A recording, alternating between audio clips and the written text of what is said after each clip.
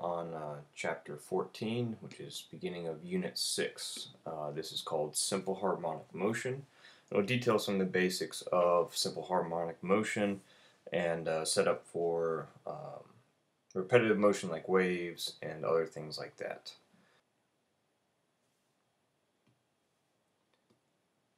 First thing we're going to be looking at uh, oscillations. Oscillations are just a kind of a fancy word of saying uh, repetitive motion.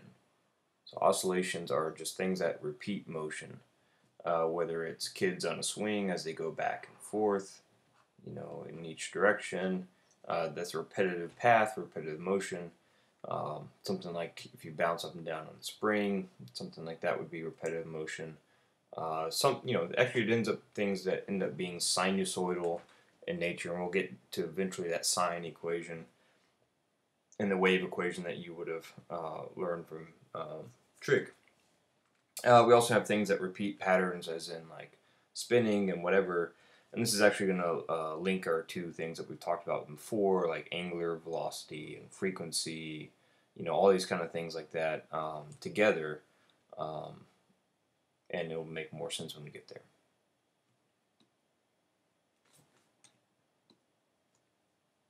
Okay, uh, let's see. Um, repetitive motions uh, on the same path can be described as an oscillation. Again, oscillation is just a fancy word for repetitive motion. Um, keep in mind, even if it's just limited to one dimension. So in this case, um, the uh, the car right here is uh, traveling down the road. So it's traveling in this direction. This is the direction of the center mass of the car in a way.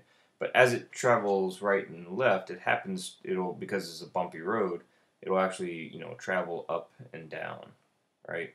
So the up and down is the oscillation from this center point right here, you know, where it would go on a flat road. Uh, so, it, you know, its, um, its oscillation is up and down, its repetitive motion is up and down, even though it's traveling uh, right and left.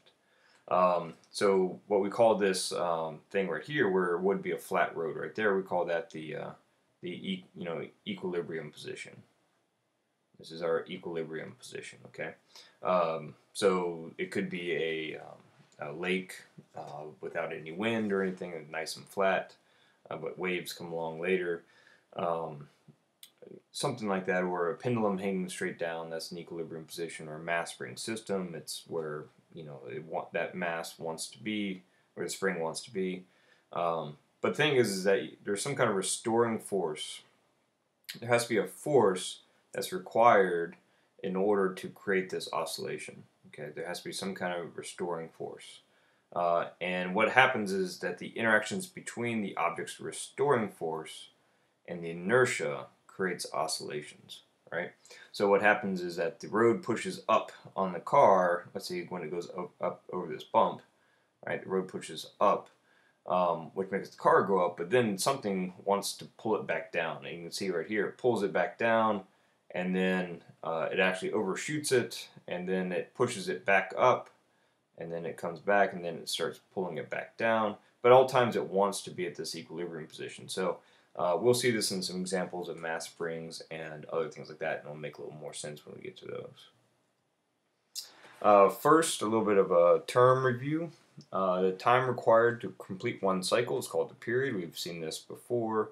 And again, um, you know, like you come here often. Yeah, I come here um, twice a week.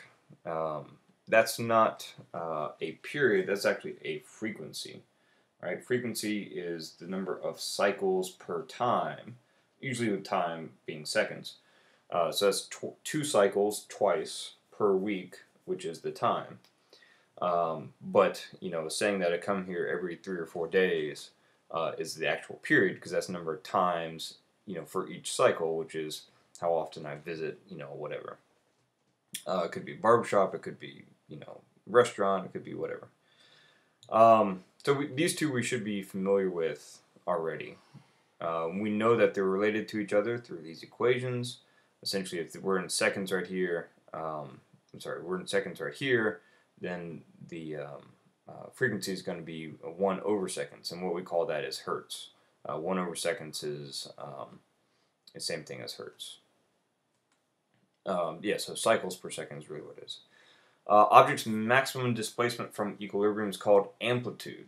Okay, so amplitude is that if an object goes, you know, here's here's the equilibrium position, and it goes here before it turns around and comes back this way, and before it turns around and comes back this way, and repeats this cycle over and over and over again. Essentially, the distance from uh, maximum displacement from equilibrium position, like right here, that is the amplitude. Okay, that's a new one right there. Uh, you think about an amp or an amplitude as far as uh, you know sound or something like that. That's actually the, maximum pressure. Um, there's different ways to evaluate that, but more amplitude, more energy, and things like that is the general way that we deal with this.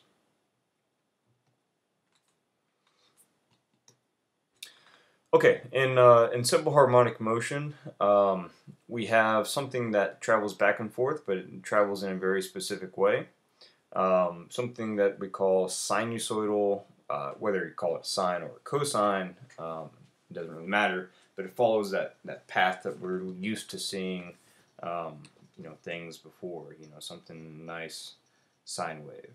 Now, it doesn't actually have to go like in this path like we saw in that car uh, essentially what's happening is if I model the y position of this right here, right, in time, so now this could be the y position here, and this could be an axis of time.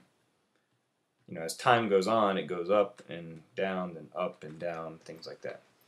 Um, and this could be horizontal, and we'll see something like that uh, also. So uh, pendulums are two main uh, as one of the main examples. We'll uh, get to that. And mass spring systems. Uh, pendulums you probably see more often than let's say mass spring systems. But I find that mass spring systems are easier to understand because of um, our, we got a pretty good feeling for uh, what the restoring force is uh, on those.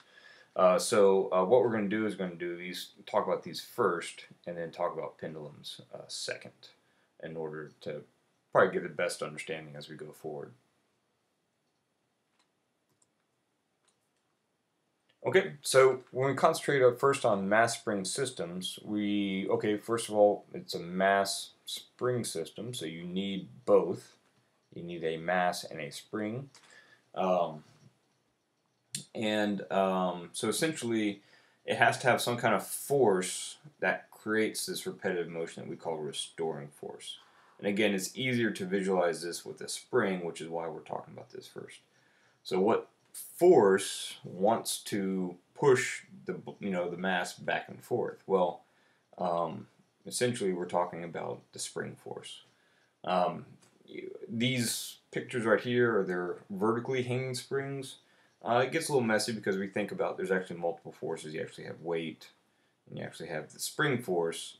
Um, but we're eventually going to go to a horizontal, you know, thing here where the spring's like this and it's going like this, and that's actually easier because you don't have to worry about the weight interacting. But the key thing is that there is a restoring force that goes on. so Hooke's law says that the spring force uh, is equal to negative k delta x, where this is the spring constant and delta x is the um, displacement. Uh, again, if this is positive, then the spring force is negative, which means that if you displace it to the right, then the spring force is to the left. Uh, likewise, if this is negative, that means you compress it to the left, that means the spring force is to the right. So this negative just keeps you honest with direction. And what we see here is that the spring force right here is linearly proportional to the displacement. Or the yeah displacement, remember this is displacement from uh, the equilibrium position, uh, where that spring wants to be. So like right here, um, this is the equilibrium position. If you just hang that spring, hang that mass off that spring, this is what uh, the equilibrium position wants to be. So probably what happened is it was hanging there, and somebody came and pulled it downwards. Right, pulled it some distance here, so then it starts going, you know, back and forth and back and forth, right? Back and forth. Okay. Um, so the spring force is linearly proportional. So as this increases, so does this, but specifically if this increases two times, then this increases two, oh, two times. Uh, if this increases three times and this increases three times, so on, so on. And again, this spring constant is a characteristic of the spring that should never change um, unless you warp the spring or do something uh, bad to the spring.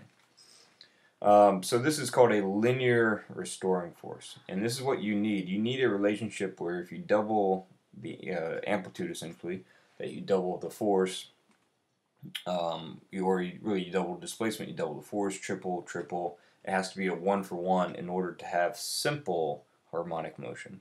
Uh, there is such thing as harmonic motion that is not simple, but again, that gets very complicated, which we're not going to handle in this class. Um, so one thing to keep in mind, uh, this will be helpful for some problems and just a general concept.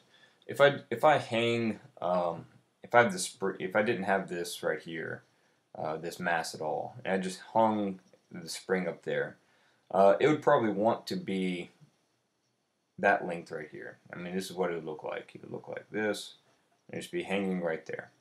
But I hang the mass on it, and then it stretches downwards. So it actually has now gone and it's actually changed length. And we'll call that, you know, we call that delta x, you know, but in this case, since we're talking about length, again, it's the same kind of idea.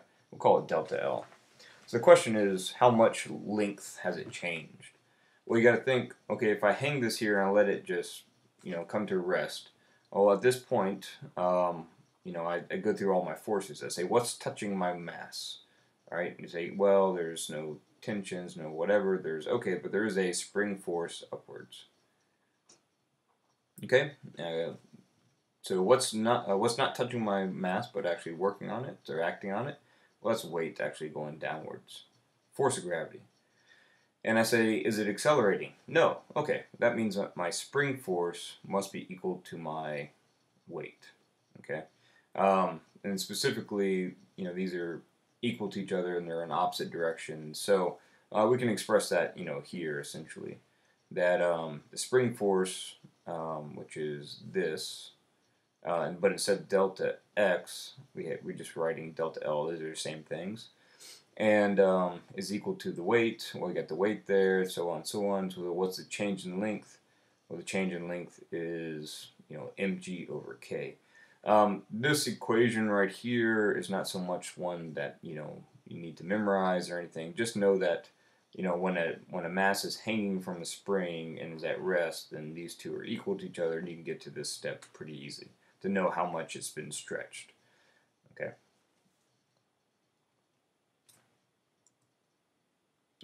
Then there it goes up and down, up and down, up and down.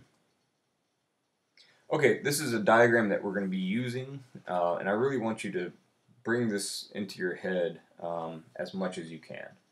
Okay, so, and think about this, because this is going to be the key, essential part of understanding uh, simple harmonic motion here. Um, first, we're going to start off um, saying that I have a mass spring system, so here's the mass, same mass the entire way, and here's a spring, the same spring that has a, you know, the same spring constant the entire time. That spring constant doesn't change. Um, and so uh, it's attached to a wall, and then this uh, surface right here is frictionless, right? So it's resting on here.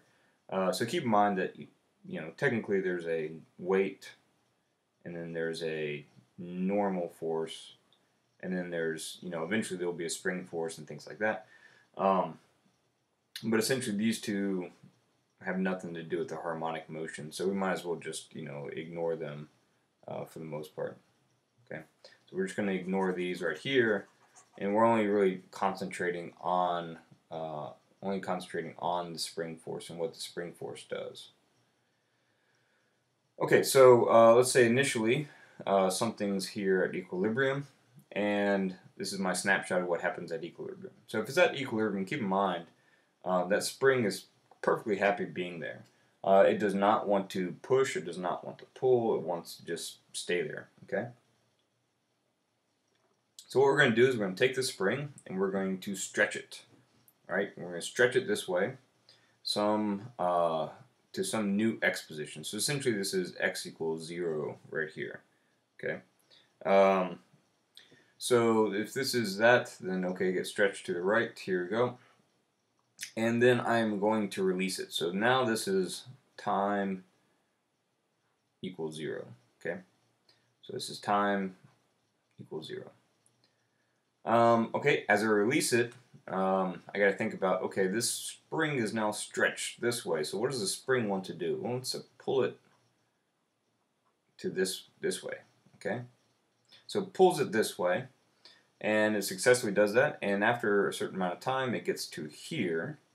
Um, okay, but if I think about it right here, as it passes through right here, that spring force, that spring is perfectly happy being there. It does not want to do anything. It just wants to stay there right there. Um, but it happens to keep on going. And so as it goes, it compresses the spring. And so if it compresses the spring, that spring doesn't like it. So the spring force goes like this. And then what does it do after that? It pushes it back this way, which means it goes back through equilibrium, where spring force is zero, and then back this way. So this is how the, the spring force is providing a restoring force. That has to be linear and it has to be whatever, but it's always going to try to push this thing towards equilibrium. That's what a, that's what a restoring force does right? The restoring force always goes towards, um, you know, uh, towards uh, equilibrium. Okay, so it always goes towards equilibrium, and it has to be, you know, li that linear proportional. Um, so yeah, so new term amplitude, you know, is the know, maximum displacements from equilibrium. This is my equilibrium point right here, and um, so this is what happens. So what we're going to do is we're going to try to track this in multiple ways. Uh, position, velocity, uh, acceleration, um, and then eventually we'll come back and do kinetic and potential energies. But let's, let's try to track this on this uh, next slide and see what happens. Uh, first of all, um, this one right here we have is period. Okay. Um, so let's see. So initially we start off with time equals zero. We're going to put down uh, fractions of a period through here? Well, I know that if it starts here, again, this is my equilibrium, this is my zero point in position, um, and then it goes out to some positive x here, and it goes down to some negative x here, and I, and I could, you know, dash this all the way down, but it would not be a straight line because I can't do that. Um, then um, it's going to go from this position all the way here and all the way back, which it shows like this. And so what I'm going to do is say that, okay, well, I know that's my initial point, and then this has to be my final point, and the time it takes for that's just going to be, you know, my, my period there. Okay, so if that's period, then halfway through, I've made it just to the other side, and so this is one half of the period. Okay, and, um, okay, so that means that if that's a zero and that's one half, then this is actually one quarter and then that makes this 3 quarters of a period. Okay, so I got that out of the way. Now let's talk about position. Uh, at that instant right here, um, by the way, on this chart, which you'll have in class, or you, you can pick it up from me if you miss class, um, you know, you can only put in three things, max positive, max negative, or zero. Okay, so, um, so right here, you know, I got to think what position is this? Well, it's positive, uh, and it sets all the way to the right as far as it goes. So this is actually a max, um, a max positive. Okay, next, as it goes through equilibrium, okay, well actually it's right here. It's at my zero position, right? It's at my zero position. And then it makes it all the way to the other side for this right here, halfway through the cycle, and it is now at its max, max negative position. Um, Okay, now it pushes it back this way, and as it goes through equilibrium, it is now back at a zero. It's because it's equilibrium right here, zero position, and then it's been taken all the way to the right again to complete the cycle, and this is max positive. Okay, remember one cycle is from the same position back all the way through and back to the same position again. Okay, next column, velocity. Um, I'm actually gonna uh, hold on to this for a second. Let's come back to velocity and let's go to acceleration next. Because acceleration is easy when you think about this. F equals ma. Okay, so which means that my force and acceleration are proportional. So whenever I have a maximum force, I have a maximum acceleration. And by the way, these are also vectors, so the directions have to be the same too. So now instead, instead of thinking about directly about acceleration, let's think about force. And we're going to fill this out as if this was force because that's more intuitive in our minds. So at this point, I got to think about what is the force. Well, the force is a spring force that goes back this way. Okay, so it's a spring force going to the left. Okay, so that's actually a negative force, which means there's a negative acceleration. And it's maximum because my spring force is proportional uh, to delta x, and we're at the maximum, you know, positive position here, which actually means I have a maximum negative uh, spring force. So this is actually a max negative spring force. Okay, now as I go through here, equilibrium, it's remember it's happy being here. I actually have no spring force at all right here. It just happens to be moving to the left. And so it actually has zero acceleration as it goes through the equilibrium. So it's not speeding up or slowing down, but it happens to have, we'll, we'll see, a, velocity here. Okay, as it goes through this thing right here, um, okay, the spring doesn't like to be compressed, so it's going to be to the right. I can also see that if this is negative, and that's, you know, it's a negative and negative, that means a positive. Uh, it's all the way to the left, so this has to be a maximum force or maximum acceleration. And um, then it comes back through equilibrium, and again, it's perfectly happy being right there at equilibrium, so this is actually a zero acceleration. And it comes back to where it started, and we're back to this maximum um, maximum negative position. Okay, um, now let's think about velocity. Okay, so um, so here I had a uh, zero. Oh, sorry, um, I had a maximum negative, so I have this huge amount of acceleration that wants to go this way because I have a huge amount of force. So what does it do? Um, well, first of all, let's think about velocity right here. Sorry, before it gets there. Um, it was, before this, it was going to the right, and then it's going to left. If it was going to the right and it's going to left, then it has to, at this maximum spot right here, have to have a zero velocity. Or you can think about, oh, it was released from rest or something like that. Okay, either way, that's fine. But from here to here, you gotta think about this entire time, you know, it's accelerating to the left. Okay, it's accelerating to the left. Right, so if it's always accelerating right here, it's picking up speed um, to the left.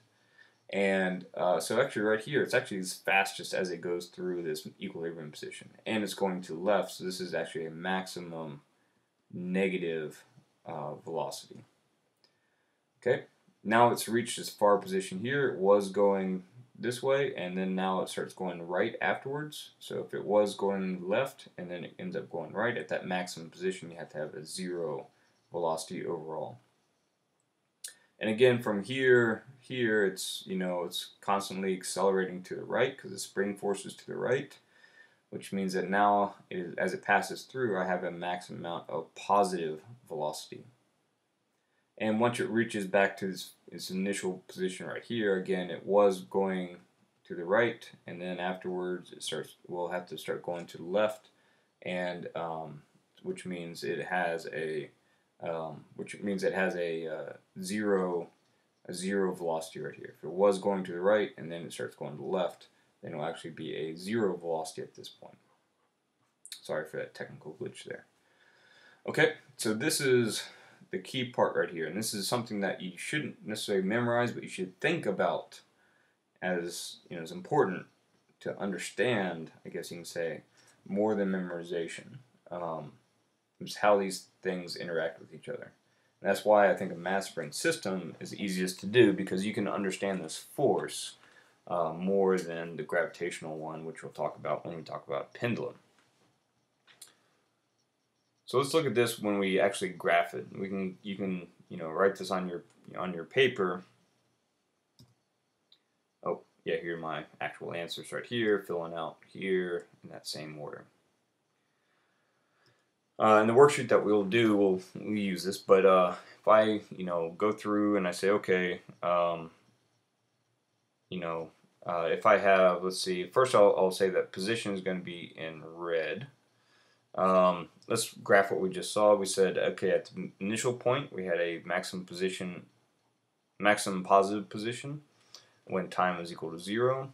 Um, and I said when I got back to the same spot, which is the idea that's one period, that was also uh, a maximum positive. Um, it went from one end all the way to the other, and the other end was about halfway through, halfway in time. And we said that okay, at, at the quarter, you know, at the quarter mark, we were at the zero position, uh, and at the three quarter mark, we were at the zero position.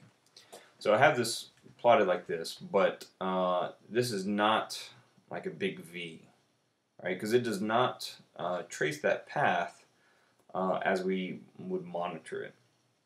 What we'd actually see it um, do is actually, you know, um, slowly pick up speed and then then that speed decrease and then it would slowly slow down like this and then back. All right, this is a little bit off. Should be a little bit like that. Okay. Um, and so this is what we would actually see right here, right? Is this uh, this path right here? It's not a straight line like this, not a straight line like this. And that actually looks like a sine curve. Actually, in this case, it's actually a cosine right here. Okay, and um, now let's go to velocity. And let's use uh, let's use green for velocity. So green is going to be velocity here. Uh, what do we say at this initial point? It actually had a zero velocity. And so as it was all the way to the right, we let go of it at zero velocity to begin with. But as it passed through equilibrium right here, um, it actually had a maximum amount of velocity and specifically a maximum amount of negative velocity. Okay, and then it overshot it and it reached the far side. And as it reached the far side, it actually went back to zero velocity. All right, because it was it was going left, and then and after that it's going right. Uh, then it passes back through equilibrium, but it's going really fast, uh, and specifically really fast to the right, which means it has some kind of maximum positive velocity. And then as it returns back to its initial spot, it has zero velocity again. And so I get this right here, and this is not some kind of mountain range looking thing. This is actually a something that doesn't change, you know, immediately. It changes with time, and then you also have a uh, sinusoidal. Again, this is way off. I'm so ashamed of this one right here. Um, I'm not going to try. Okay, but um, you know, it should look like this and then come down like that. There you go. That's better. Um, and it should be nice and curved and whatever. So you can always do um, better than I can. Um, and actually, this would be what be a negative cosine right here. And then the last one I'm going to do is, um, say blue, I'll do acceleration. Uh, as it was all the way to the right, um, it had a maximum force to the left. So it's actually going to start way down here. It's going to have maximum, okay? As it, anytime it goes through equilibrium, it actually has zero force and zero acceleration. Uh, actually, so I know it goes to equilibrium here and it goes to equilibrium here, so it actually has zero at that point. As it is all the way to the left, that means its spring force is all, is all the way to the right, is at its maximum to the right. And then as it comes back to its original position, it has that same um, pattern as it began with. And again, this is, maybe if it helps if I just do one segment at a time. If I go like this, right, and that's that part, and then from here it would go like this. Yeah, I'd like to see you do better. Okay, um, so what I get is my three uh, methods of motion here. Uh, I'm sorry, position, velocity, and acceleration. And what we see is that they are all sinusoidal, uh, all um, sines, cosines, because this is actually a negative sine right here. And for all you calculus people, you would identify that this is a uh, cosine right here, and that is position. What's the derivative of position? You'd say, oh, that's velocity. Um, and that means the derivative of a cosine is a negative sine, and that's what you see right here is a negative sine. And then what's the derivative of a negative sine is a negative cosine to get from velocity to acceleration.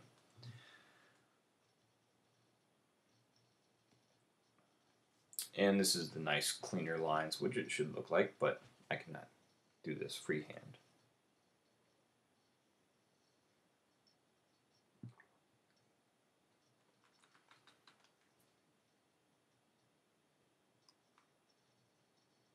Okay, so now that we got that idea and that understanding um, under our belt for um, for mass spring systems, let's go look at pendulums because pendulums are a little bit trickier. Um, so specifically, let's look and uh, talk about restoring force. Um, it was easy to think of a restoring force when we talked about mass springs um, because you know that a spring compresses and pushes and things like that if I were to ask you what the pendulum, what makes it go back and forth, uh, you'd say, oh, gravity. And you'd be right. But I ask you to analyze it, then maybe you'd be a little bit um, stumped. Um, for example, like you know that you probably predict that on a space station, take the pendulum up to the space station, you pull back a pendulum, and you let go, what's it going to do? Well, it won't do anything. So we know that gravity is responsible for this pendulum going back and forth. So what we're going to start off with is what we need to do is to understand force, let's start off with a free body diagram. All right, good old free body diagrams. Uh, okay, so what's touching my bob here? Um, well, the string is touching it, which means I have a tension. Okay, and um, nothing else is really touching it. Uh, the only thing that's acting on it that's not touching it is a weight. Okay. And so you can say, oh, this is not balanced, right? And that actually, you know, this is not a balanced force. It creates a, an acceleration. Um, what we're going to do is, uh, since we can pick any axis we want, we're going to pick our positives. You know, we're going to have an inward kind of thing and then an outward kind of thing. And we'll, so what we're going to do is going to set a set an axis that looks like this. All right.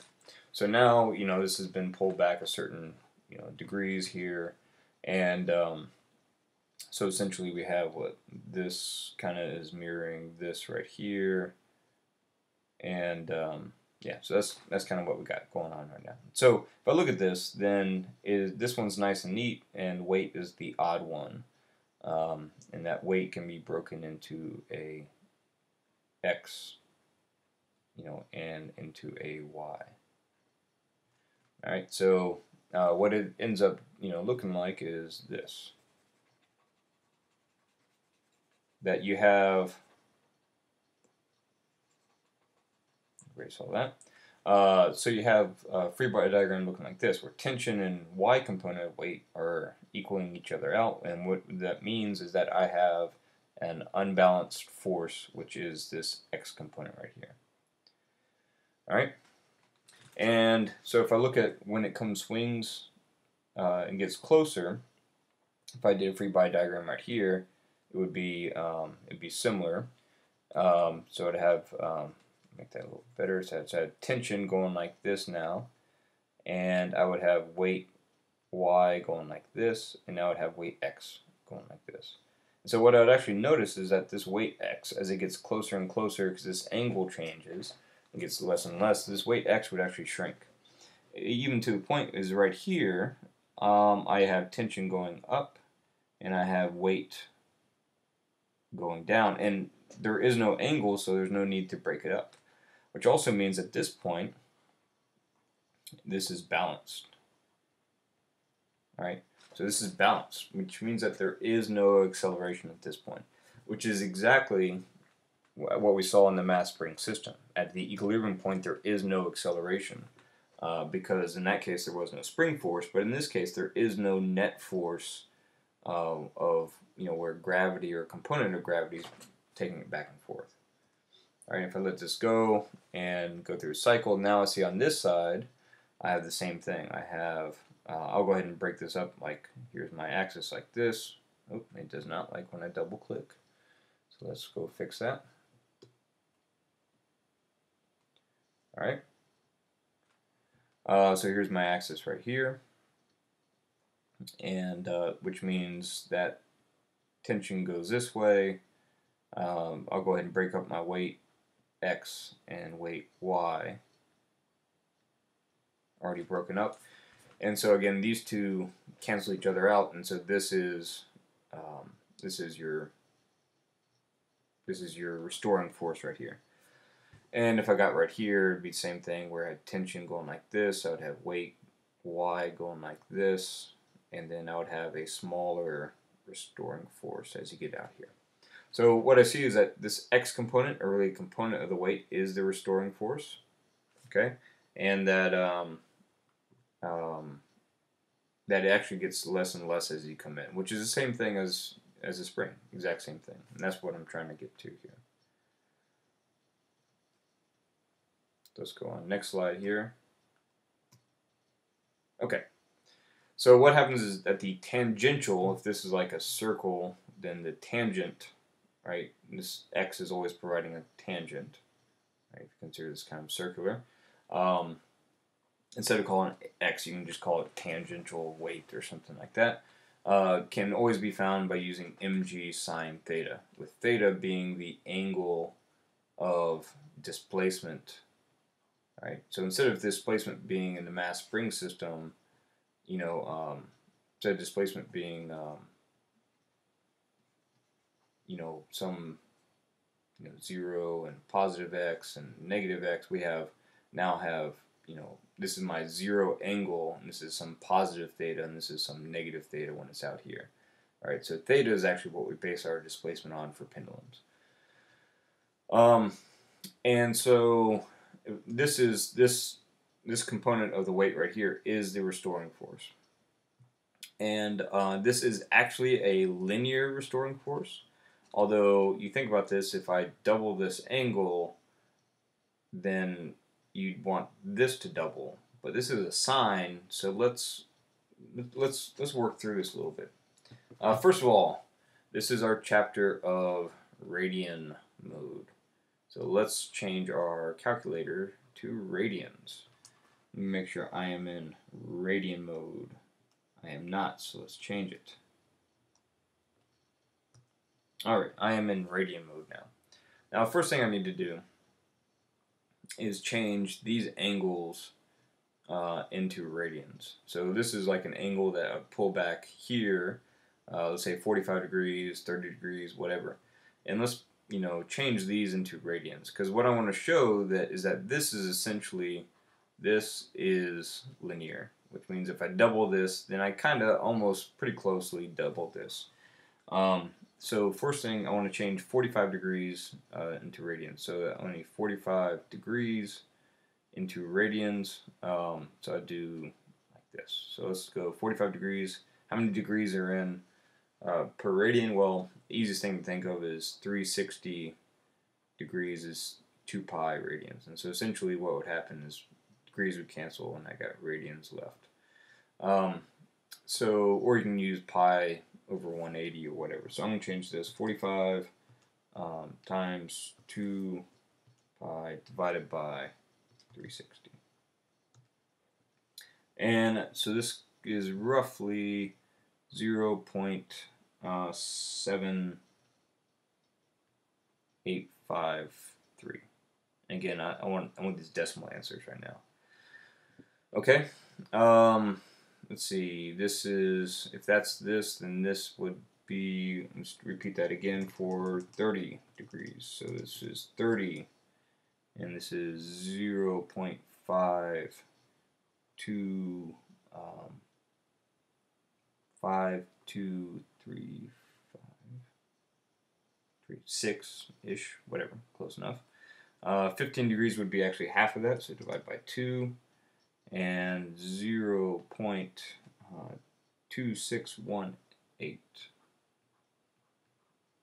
okay, 10 degrees, um, go back to 10,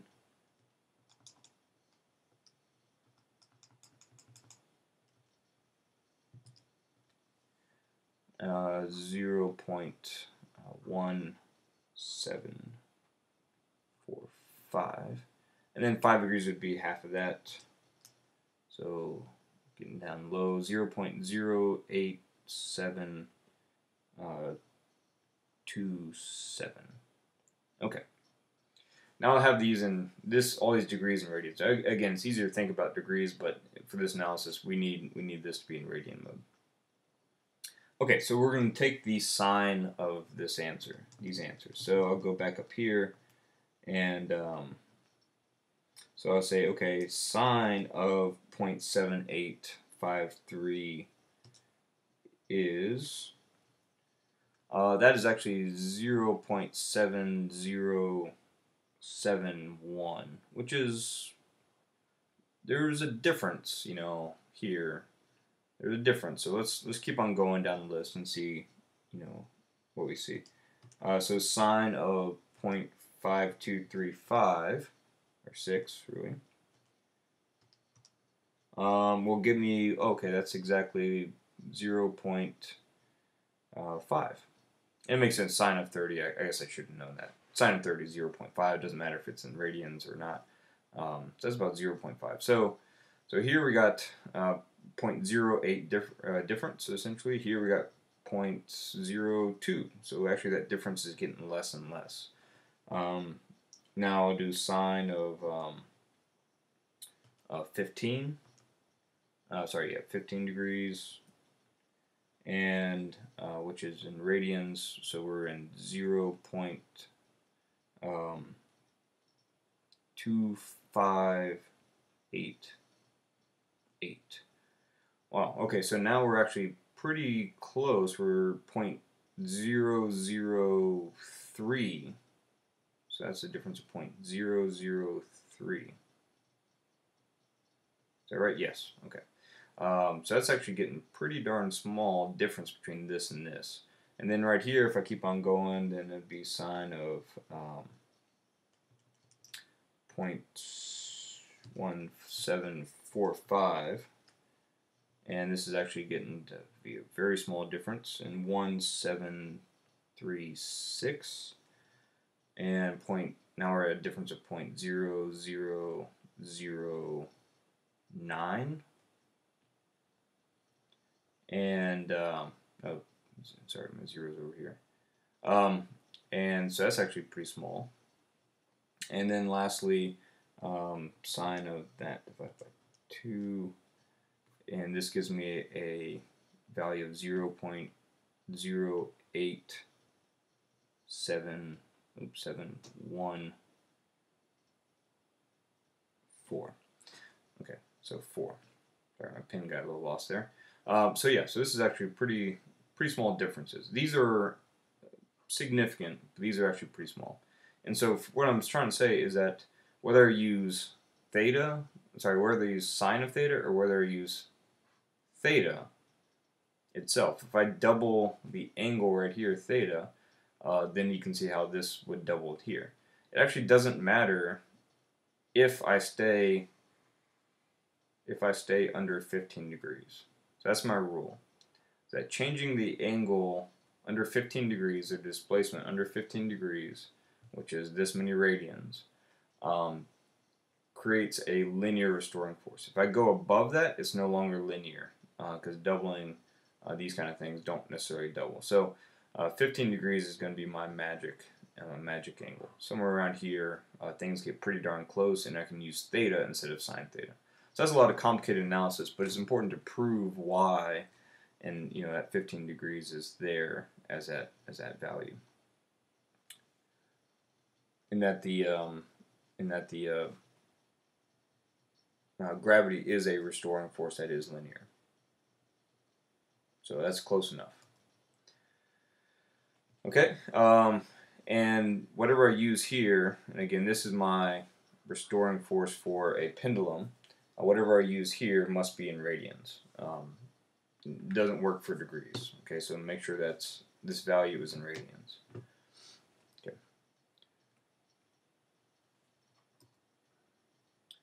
Um, okay, if you notice here, this is a uh, mass right here.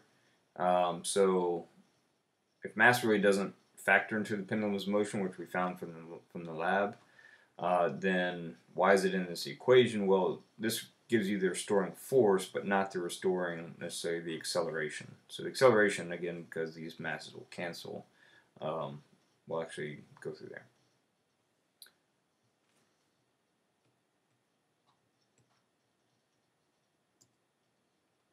Uh, the pendulum also makes the same sinusoidal motion, the same uh, plots, the same positive and negative position, velocity, acceleration.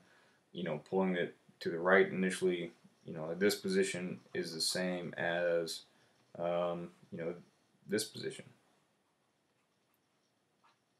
Where if this is equilibrium here, and this is positive x right there. So those, those are actually the same uh, here. It's just, um, um, yeah, so these are the same here, same idea at that. Okay, if I look at this, uh, now that we have uh, the description of those two things uh, taken care of, let's look at this and try to start doing things mathematically here. Uh, first of all, uh, if I have a position a function of time, so what I said, I said that this right here is my position one, and I can see that that actually looks like a cosine. Well, okay, cosine, and the, if I actually remember back to my trig, I have all this stuff, cosine, and then the uh, value of this is the maximum positive. Well, what do we call that? We call that the amplitude, right? So this maximum positive is the same thing as saying the you know positive amplitude. What does that make this? Negative amplitude. Okay?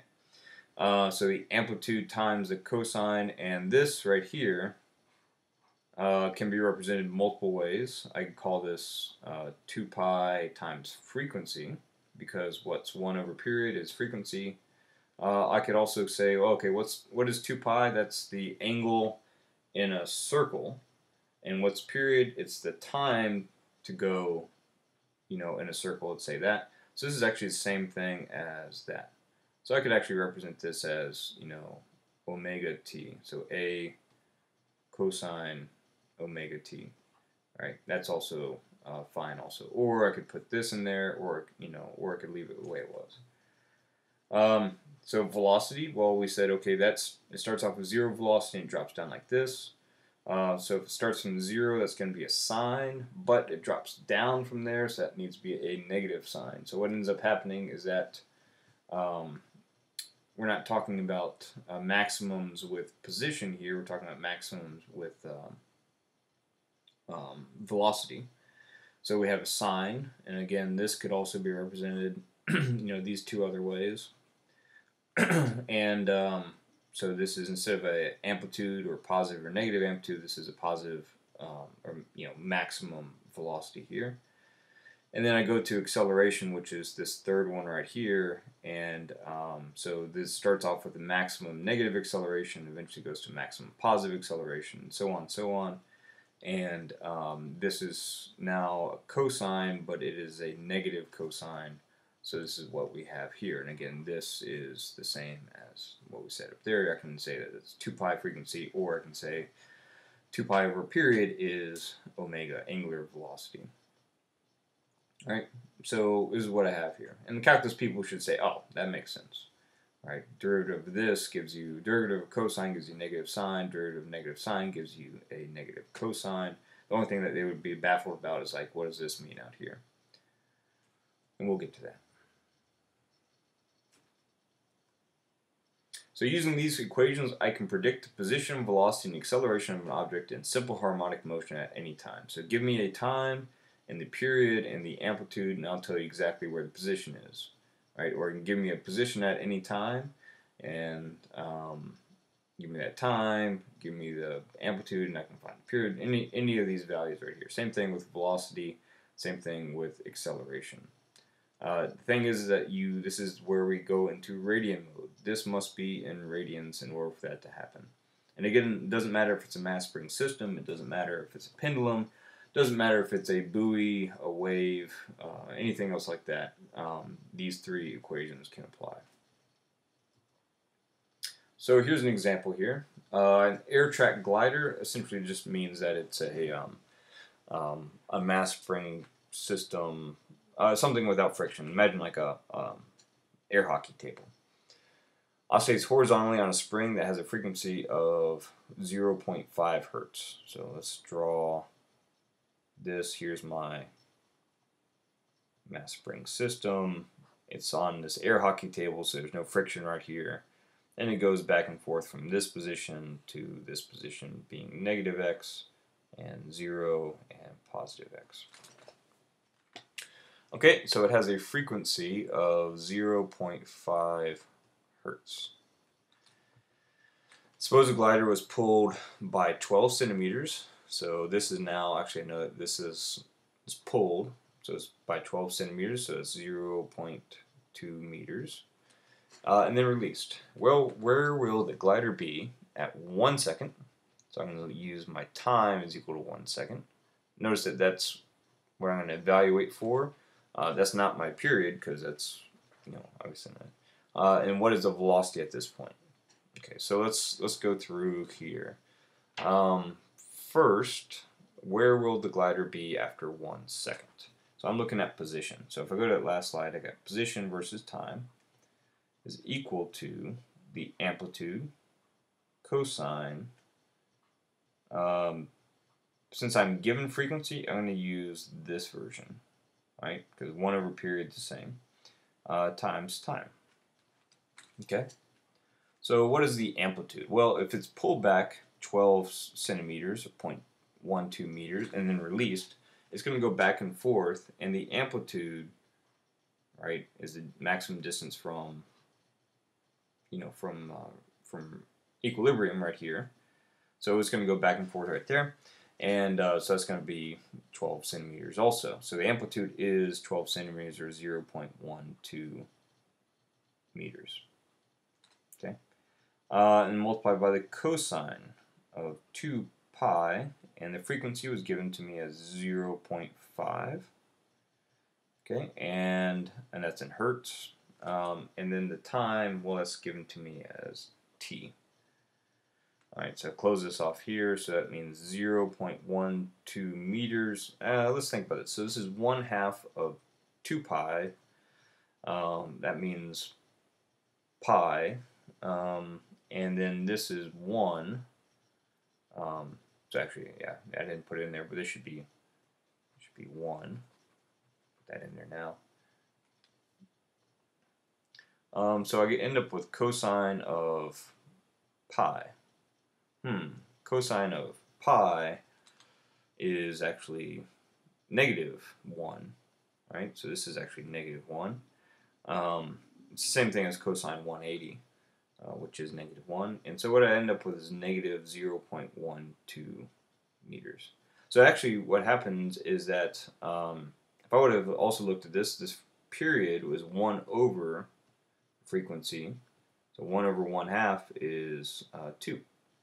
So it takes two seconds to go there and back. So the question is, where is it? Where is it at one second? Well, it's halfway there, halfway in the cycle. So it's actually on this far other side, which gives me the same idea right here. Okay.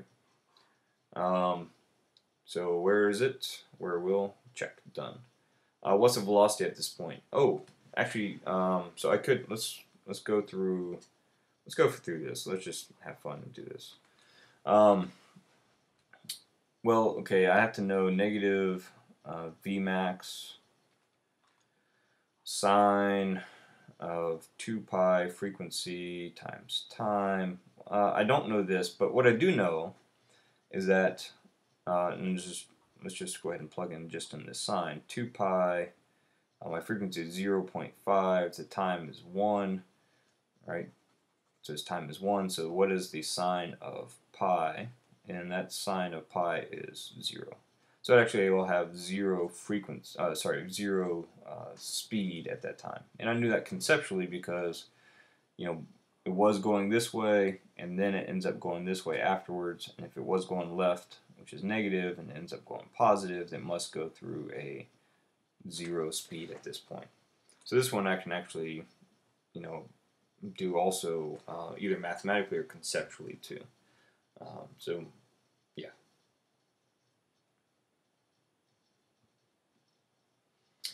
Um, the one thing that was kind of left over from the last uh, couple slides that you didn't know is this. Again, that last problem, if I was given anything else, um, I wouldn't know what Vmax actually was. Um, so I couldn't have solved for that maximum velocity without that concept or without the idea that this you know, sine of pi, whatever goes to zero. But that was a nice, simple, straightforward uh, problem. The issue is what if uh, what if I don't have this, right? What if I don't know that, and there's no concept to answer it, or there's no nice and neat stuff. And again, I, have this written like this, but again, yeah, I could write it like this, so it all matches the same here. Either way. Um, so what's the what's this value up here? A well, that's A is the amplitude, which is the maximum position, positive or negative, whatever. So that's actually easy to understand. Um, but what is this right here? This is actually 2 pi frequency times amplitude. 2 pi frequency times amplitude. And if you're a calculus person, then you have the ch ch ch chain rule, right? And so you have, you take the derivative of the outside, then you take the derivative of the inside with respect to time. This 2 pi f pops out right here, and you get 2 pi f times a, and so on and so on. If that's calculus is your thing, then that's, you know, of course, the reason why. And um, so otherwise you have to just memorize that this is 2 pi fa. Uh, acceleration, the maximum acceleration is 2 pi f, but that gets squared times a. a is not squared, but 2 pi f uh, is squared. And what ends up being again is when you take the derivative of this, you get the negative cosine, then you take the derivative of the inside and get another 2 pi f that pops out and joins the previous 2 pi f to make 2 pi f squared. Now, these are not, you know, easy necessarily to memorize. It's all full of Greek. It's all done whatever. Um, if you can start with this, right, and say, okay, uh, then this goes from cosine to sine. Positive here goes to negative. So those are opposites. Um, A goes to, well, 2 pi FA uh, instead of Vmax. Um, and then from here, you go from sine to cosine, so that changes. Uh, you go from negative, oh, actually it stays the same. And then this is just 2 pi f squared times a. So either way, you're going to have to internalize this in some way, and maybe just writing it down a bunch will help. So let's do an example here. A wooden toy suspended vertically from the spring. If you lift the toy up by 10 centimeters and let go, it will complete four oscillations in 10 seconds. What is the oscillation frequency? When does the toy reach its maximum speed? What is the speed? Where the position and velocity four seconds after the toy is released? So let's draw toy here. And this is the position it wants to be at. And it is lifted up to this position here. So this position is x or y equals 0, it doesn't matter. And then what it, you, you drop it from here, which I'll call this um, 10 centimeters or 0 0.1 0.1 meters and you drop it and what happens is it goes all the way down again. It doesn't like my double clicks, accidental, to negative 0.1 here. Okay. Okay, um, and it says what is the oscillation frequency is the first one. Uh, okay, so it's given to me as four oscillations in 10 seconds. Remember, uh, frequency is always going to be cycles per second. So frequency is actually going to be oscillations or cycles per second. So that means um, four oscillations in 10 seconds. So that actually comes out to be 0.4 hertz. It's a little shortcut right there. Um, cycles per second, so I do divide those. Okay, so it says when does a toy reach a maximum speed? What is the maximum speed? Well, if I go back a slide right here, so um, first let's answer what is the maximum speed. Well, the maximum speed is equal to 2 pi frequency times amplitude. Okay, so actually let's let's do that. So Vmax is equal to 2 pi frequency times amplitude. Okay, And um, so this is 2 pi, and then its frequency, well I just found that is 0 0.4. And the amplitude I found was 0. Point, amplitude given to me, um, sorry, from the problem, clean this up a little bit. Amplitude given to me from the problem is uh, 0 0.1. Uh, so let's multiply those together. 2 pi times 0 0.1, 0.4. And I get a maximum velocity of 0 0.25 and 3 sig figs, I'll make it 251. And that's going to be in meters per second. Okay. So what is the speed? right? I don't know direction. It could be going to the right or left, but at, at any point, this is your maximum speed that goes on, the maximum speed velocity here. Uh, it could be going to the right, it could be going to the left at that. Uh, the question becomes, when does the toy reach that maximum speed? Okay. Um, I have multiple routes here. Uh, one route is I could take this and I could find the period. Uh, so the period would be 1 over frequency. Um, so I don't want to do any quick math in my head, so that's 10 over 4, but either way, 1 divided by 0.4 is 2.5. So 2.5 seconds uh, is the time it takes to go from here all the way here and then all the way back. Um, so when does it reach the maximum? Well, it will reach it actually as it's coming through the equilibrium. This always has a maximum speed right here. So if actually this entire period is 2.5, then a quarter of the way through the cycle, right, it'll reach it. Uh, it'll also reach it at three quarters of the way through the cycle. Uh, so actually, just doing that real quick, I can find that um, 2.5 divided by 4 would be at t equals 0.625 seconds. And then as it comes back around, it would actually be uh, times 3 uh, 1.875 seconds. And that's power of kind of logic as you go through. Uh, but let's do this mathematically. Uh, when does it do it? Well, if I go to my equation, my velocity at any particular time is equal to v, oops, um, is equal to v max.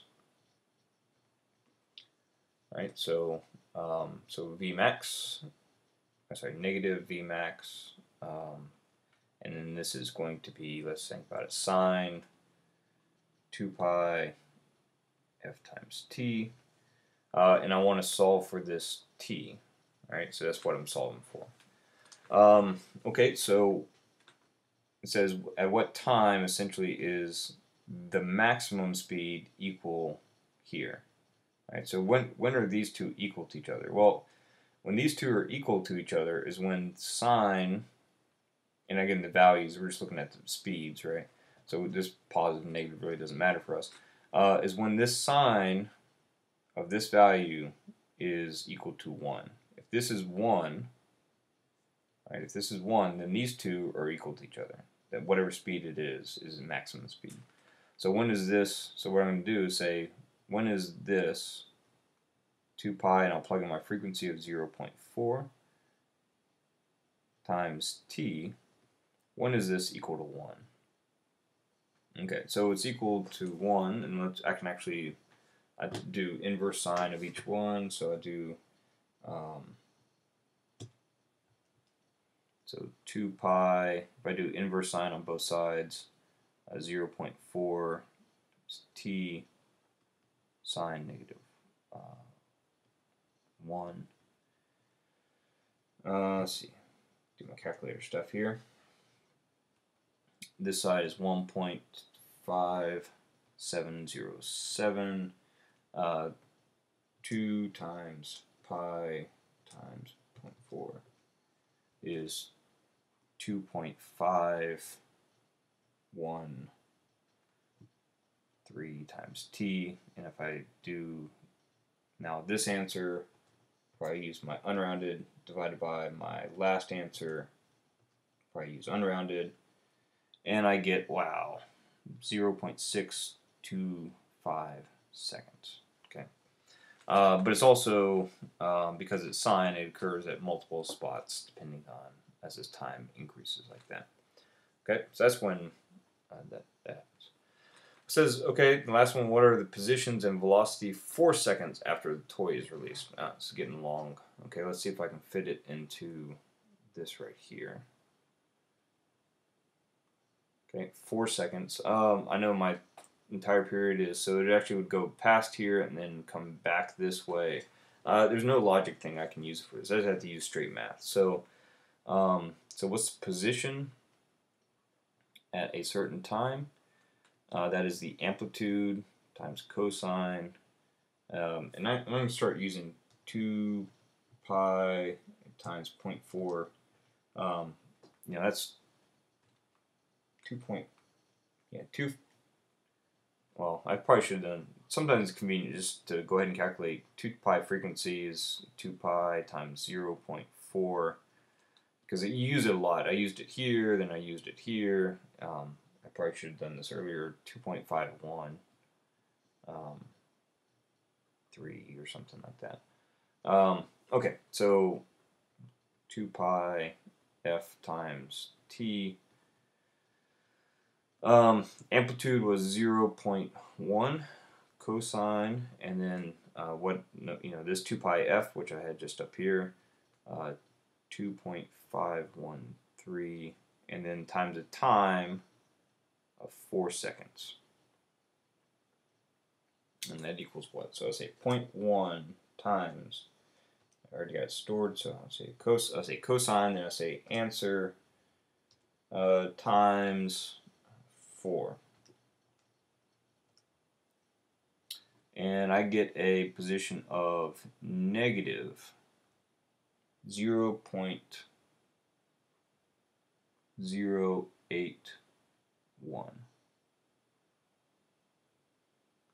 So that's actually pretty close to equilibrium here, right?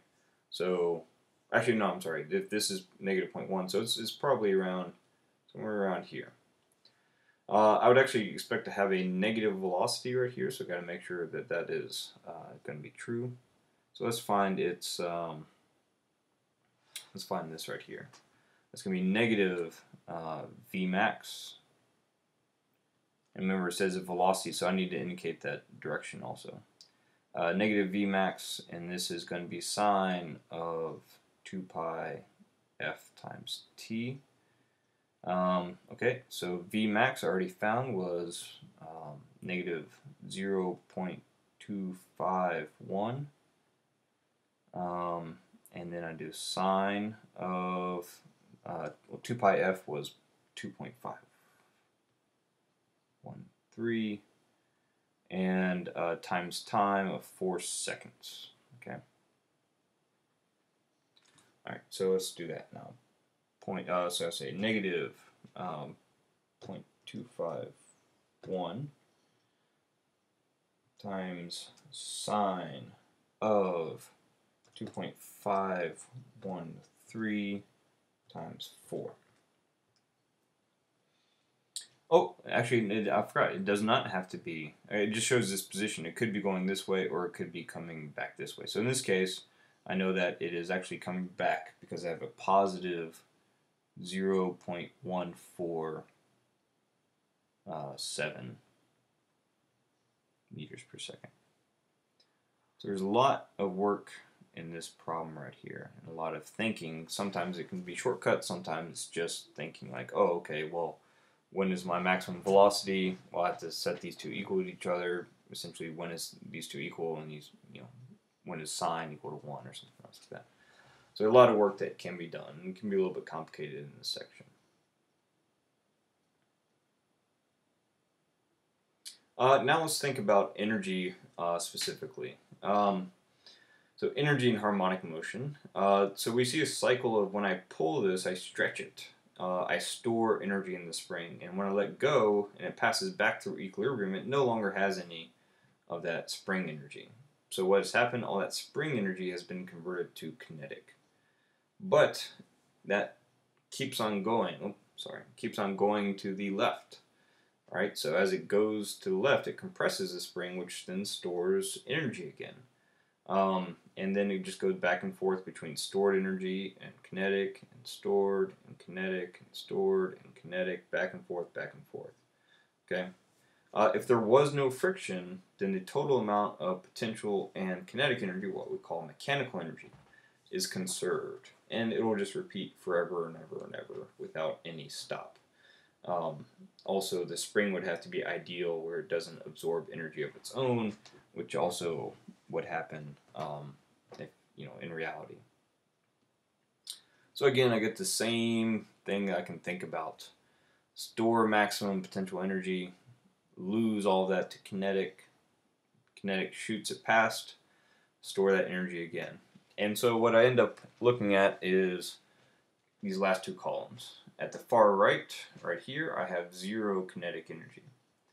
But I have a maximum potential energy, right? Maximum amount of stored energy. Here I have uh, no potential energy, right? And I have a maximum amount of kinetic energy. Um, notice that there is no positive positive and negative here because again, uh, you can't have negative uh, kinetic energy or anything else like that, and potential really doesn't really care about whether the spring is compressed or stretched. It's all the same either way. And so it just goes cycles back and forth between having those. So if I actually look at this, it would be, you know, something like this, where my kinetic energy, say in red, uh, starts off at zero, because I have no kinetic energy to begin with. Uh, also means that it's going to end up at zero when I finish the cycle. Uh, as it see passes through equilibrium, um, it has a maximum amount of kinetic energy. Uh, and then as it comes back halfway through the cycle, it's now on the other end. It actually has no kinetic energy because it's now changing direction, has no velocity at that point. And as it goes through equilibrium, I now have a maximum amount of kinetic energy again. And again, this isn't some mountaintop thing. I'm not even actually I'm not even going to try to line those up because it's too much for this tablet uh, for me to try to do that. So uh, you just laugh at me. So what I'm going to do is now do potential. I'm going to make that potential blue. And my potential, well, it starts off with a fully stretched spring. So string springs that are stretched have um, potential energy. This is elastic potential, of course. And but what happens is it passes through equilibrium. It no longer has any potential, and then it goes all the way to the other side, which means it stores energy from that compression, and then it goes back to equilibrium, which means it has no more spring energy, and then it comes back to here. Alright, so what I see is this right here. That is my potential. This is my kinetic. Alright, but what I notice when I want to go and find what mechanical is, well mechanical is just, is always my kinetic plus my potential. That's what mechanical is. So if I add this and this, then I get, oh, well this is that value. Again, I add this and this, I get that value also. So I know these peaks right up here, always right there. I want to add those together. And then again, these are supposed to be on the same line right there. Um, but if I notice right here, like if I if I add, you know, that kinetic and that potential, I get, you know, twice as much here, and I also get twice as much here. It ends up being, of course, as we said, if there's no friction, mechanical energy is conserved. So the total mechanical energy stays the same the entire time. Um, so that doesn't actually change if there's no friction or air resistance or if it's an ideal spring. So that's a that's an important thing uh, also, is that there's cycle back and forth. And you actually notice that this would be what a, a, sine squared and a cosine squared or something else like that. And then of course that would depend on you know your velocity for kinetic and potential here. That would go into those energies and using the wave equations from before. Um, some details here when we talk about uh, actually calculating uh, given a certain setup, the period of a pendulum. Okay, um, as we found in our lab, the only things that affect the period of a pendulum is the length, and really that's the only thing that you could have came up with. Um, there were small effects about angles, and of course most of that was when you when this angle was greater than 15 degrees. as you went farther and farther back, and some people probably took it all the way out to 90, all right, um, you saw a little bit of effect, but it was usually pretty minor in general. That's because that restoring force is non-linear past that point, although it's pretty pretty darn good. Uh, and then the other one is gravitational acceleration. Again, you didn't you couldn't you couldn't change that. You couldn't go to the moon. You couldn't go to another planet or anything else like that. You're limited to our classroom. Okay, so this is the equation right here. Now the biggest issue here is just going to be algebra. Right, for us and you know for their planet, this is going to be 9.8. Um, this is the length. Uh, keep in mind that it's always this length is always from the center of mass of the bob to the pivot point. Right, so keep in mind if this was some kind of odd shaped, let's say it was, um, oh, I don't know. Well, okay, let's let's imagine this is a big, huge wrecking ball, and then somebody came and then sat on top of the wrecking ball like this right? Um, let's say it's a pretty massive person, uh, so the actual center of mass would go from here, the geometric center, to somewhere up here now. So that length has actually shortened. And supposedly that's what happens actually when you swing and you pump your legs, all that stuff like that. You're changing your center of mass and you're changing the length by leaning back on the chain and all that stuff, and you're changing the period of the pendulum when you do that. Okay, let's go back to red here. Um, for a mass spring system, uh, we didn't do a lab on this, but um, what you would see is that the uh, amplitude, how far you stretch it back and forth, really doesn't matter. Um, what so what happens is the more I stretch it, the more force there is, which means that there's more acceleration this way. You know, the farther farther I stretch it, so it actually covers that ground uh, regardless with amplitude. Uh, gravity doesn't affect this. And actually, it doesn't matter if I hang it, you know, vertical like this too, right? Same thing. It doesn't matter which planet I'm in, or if I'm on a space station with no gravitational acceleration at all. If I just like this, it'll actually just do all the same. Only thing that affect it is how much mass is on here, and the spring constant or the quality of the spring. So these are the only two that affect it. And it's the exact same format as we had in that last slide too um, 2 pi equals square root of m over k is the period.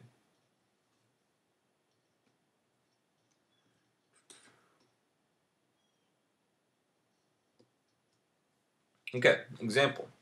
A spring has an unstretched length of 10 centimeters. Uh, 0.2, uh, sorry, 25 kilogram mass is hung from it, which by the way, I'm going to go ahead and cheat and go, not cheat, but I'm going to go ahead and declare that. That is 0.025 kilograms. I need this to be in kilograms. Stretching it to length of, and again, this should be 0.1 meters, and this is now 0.15 meters. If the mass is then pulled down or released so it oscillates, that means it goes back and forth, what will be the frequency of the oscillation? Okay, so I have, it's hanging, right, the spring is let's say this is my spring right there and it wants to be uh, 0.1 meters. But when I hang a mass from it, it stretches out and it is now uh, 0.15 meters. Okay, sorry. Um, yeah, it hung from and stretching to length. Okay. Okay, so um, so I know this. Uh, I know that it begins to oscillate. So I'm, I'm going to be asked to find the frequency. Um, but the only equation I have is this one. Okay, the only one I have is this one. This finds the period, but I know if I can find the period, then the last thing I'll do is frequency is 1 over the period. Okay, so if I can get to this period, then I, I'm okay. So let's start plugging in our values. So period is equal to 2 pi square root. Uh, mass in kilograms is 0 0.025 kilograms. And that's going to be divided by the spring constant. And, oh, I'm not given the spring constant. Okay, so I'm going to use this situation right here, this story.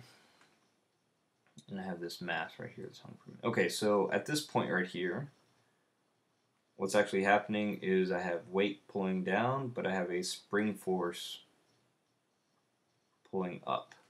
Um, so it's hung, and this is its new length. Okay, it's not oscillating yet. So these two are going to be in equilibrium and equal to each other. So that means my weight is equal to the spring force. So my weight is equal to, if I get my directions in there, whatever, um, is k, we're just looking for a value here for k, so delta x. Um, so weight is mg, and then k is what I'm trying to look for. Delta x is going to be my final minus my initial. Okay, so so let's start plugging this in. My mass is 0 0.025. G is 9.8. Um, K is what we're looking for. And then uh, delta X here is this right here. So how much has it been stretched? Well, it was this and now it's that. So it's actually been stretched 0.05 meters. Alright, so let's solve for K now and that's going to be 0.025 times 9.8 divided by 0.00, uh, 0.05. And so my K is actually uh, 4.9. This is actually newtons per meter. So now I know this, 4.9 newtons per meter. Okay, so now I've got to find period. So 2 times pi times the square root of 0.025 divided by 4.9. And again, your mass should never be negative. Your spring constant should never be negative. So um, you should always get a nice clean answer there. So I actually get a period of 0 0.44, oops, uh, 44 0.449 seconds. Okay. And so the question is, what is the frequency? Well, that's just 1 over 0.449, or better yet, just use your remainder in calculator. I say 1 divided by the answer. And that gives me 2.2 um, 3 hertz. So it goes 2.23 cycles per second, and each cycle takes 0.49, uh, 0.449 seconds.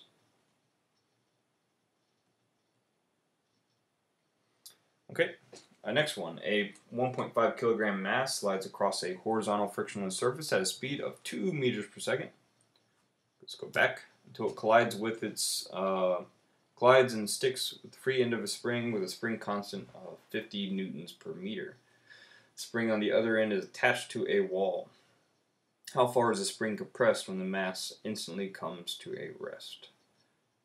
Uh, which means instantly, which means at that instant is at rest. So let's draw a mass spring system here. We've got a wall, spring like this, and so what happens is it's initially this long, a mass comes in and we know this is uh, 1.5 kilograms and this is I'll just make this positive 2 meters per second so what happens it comes in it hits and what's it going to do it's actually going to compress uh, this spring so I'm going to show the spring compressed so it was right here actually I probably should indicate that it was right here and it does not like double clicks. Should stop doing those touches. Um, so it was right here, and then it compresses to a point right here. As it, remember, it comes to a rest. So it actually has, this is my equilibrium position of zero, its rest length, and then it reaches some, some positive compression or whatever here. Okay, how far is the spring compressed when the mass instantly comes to a rest? So this is still 1.5 here. So let's think about strategies. Languages. First, forces and kinematics. I have kinematics here. I know that my initial velocity is 2 meters per second. I know my final velocity is 0. Uh, this is again as it's kind of hitting right here. Um, so I can draw this kind of like this, whatever. Um, and so, okay, I could find a delta x, but the difference is is that my force is my spring constant, and that actually depends on the position. Right, so the more is pushed, the more that the force is, which means that the more that the acceleration is. So that actually is nonlinear. I cannot do that without calculus. You could do it fine with calculus, but uh, we can't do that. Um, okay, so forces and accelerations out. Uh, momentum and energy. Oh, there seems to be a collision here. And I could use conservation of momentum, but um, that's, you know, basically there's an outside force, which is the spring, and you'd need to know, uh, in order to do an impulse, you'd have to do force and time. Uh, you'd use an average force from the spring, which is possible to do a change of momentum, uh, but you don't know time, so I can't do that. Um, last language, uh, energy.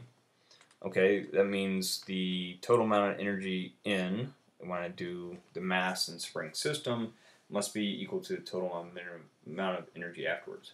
Uh, otherwise saying that this block had kinetic energy on this right here. And this before had kinetic energy. Now it has no kinetic energy, but it has spring energy. So all that kinetic energy has been converted into um, spring energy. So that's what I'm going to use.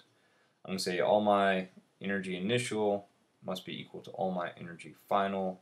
Uh, there's no outside work between uh, besides the um, the spring. So what kind of energy do I have initially? I have kinetic from the mass.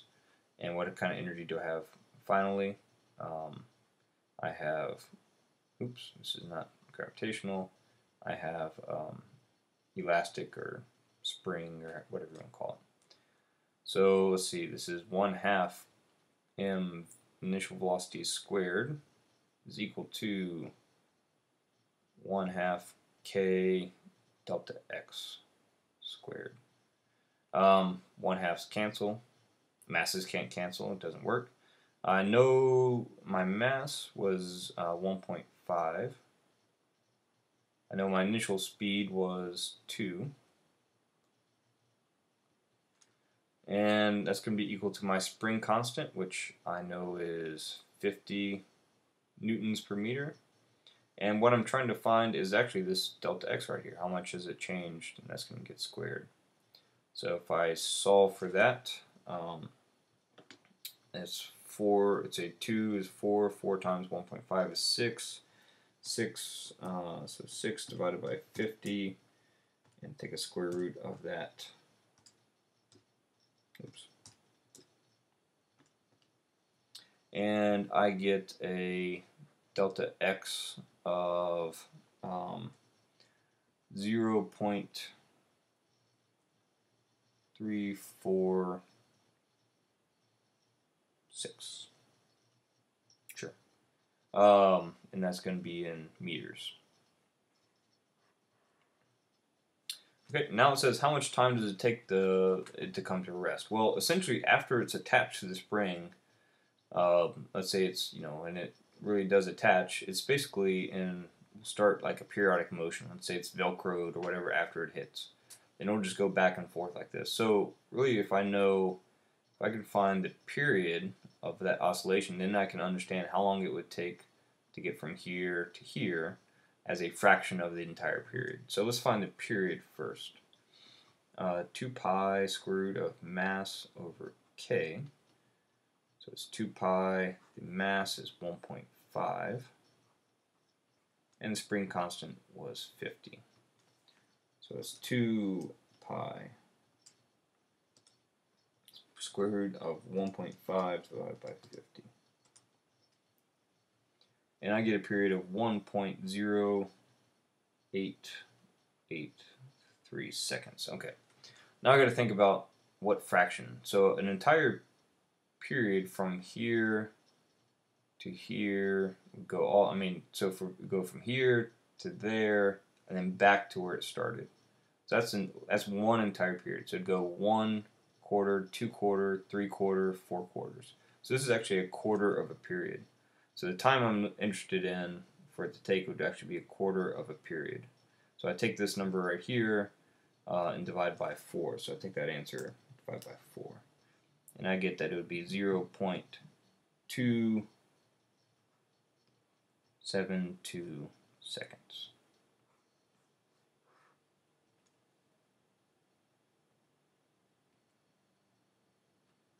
Okay. Uh, pendulum clock is designed um, so that one swing of pendulum in either direction takes one second. Um, what is the length of the pendulum? Okay, so if it goes from here to go one swing over here, this takes one second. Um, but keep in mind that's not the actual period. The period is to do one complete cycle, and a cycle is here and all the way back. So actually the period is twice that amount, two seconds. So it's tick, tock, tick, tock, right?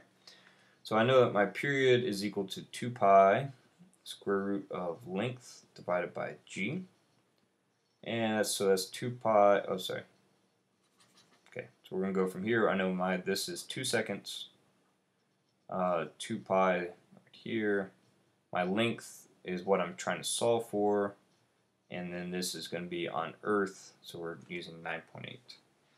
So first thing I need to do is take 2 seconds divided by 2 pi. Uh, that ends up really just 1 over pi. I'll go ahead and just do that. Um, is equal to square root of length over 9.8. Um, okay, so I square both sides. Okay, so that's 1 over pi squared uh, is equal to length over 9.8 and I multiply this by 9.8 so it ends up being length is 9.8 um, divided by pi squared so uh, 9.8 divided by pi caret 2 and so this length actually ends up being 0.99 three. So pretty close to pretty close to one meter long. So you get a one meter long um, bob right there, you'll get a nice um, about one second click back and forth. And you have to get it probably just right in order to keep time over long periods.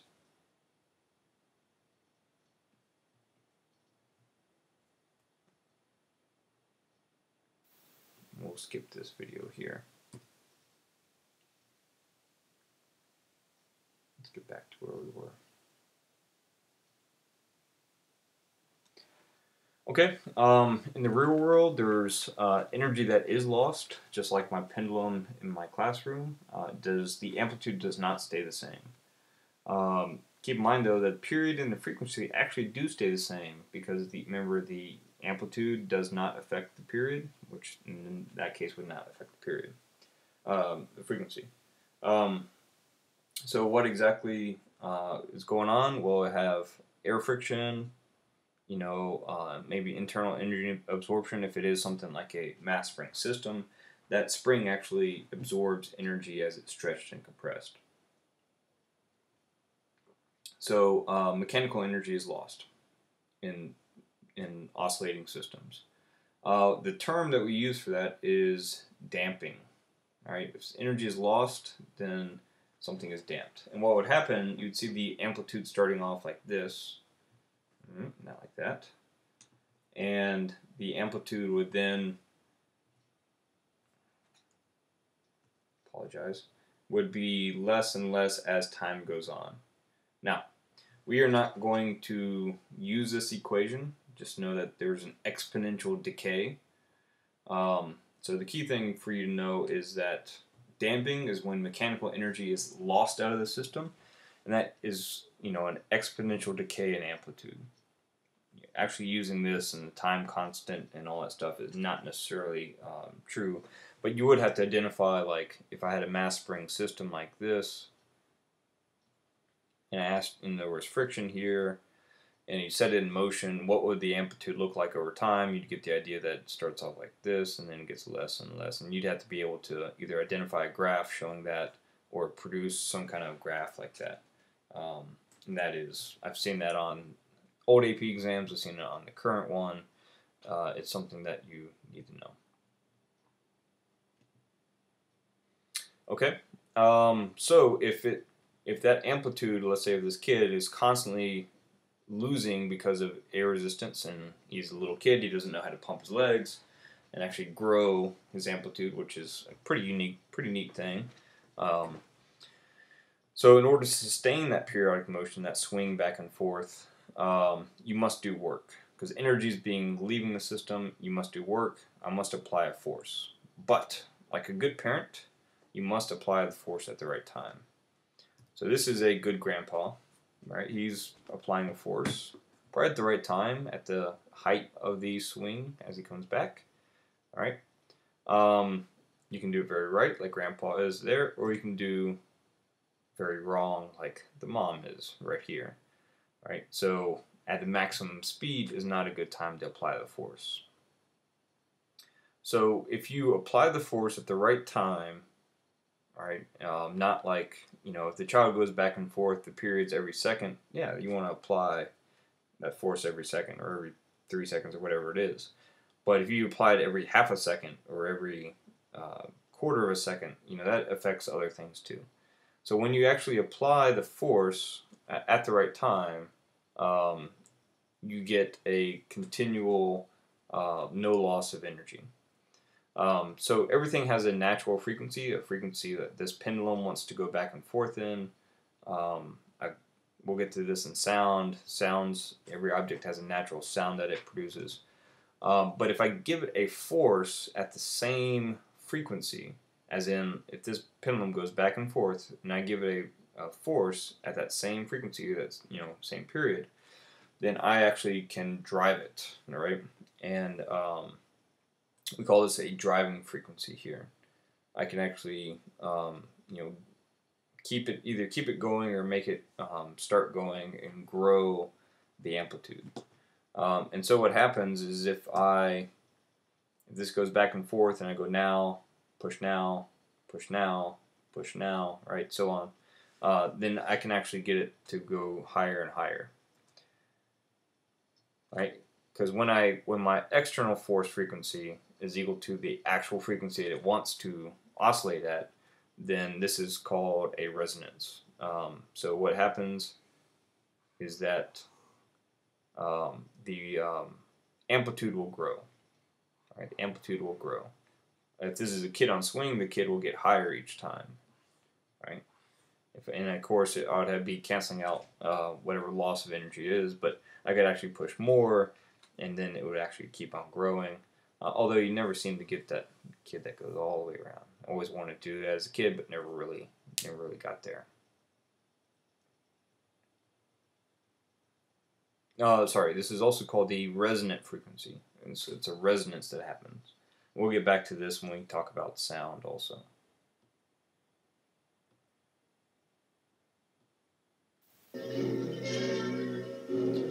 Uh, here's a video. I'll turn down my sound a little bit here. Here's a video of a bridge which resonated one time.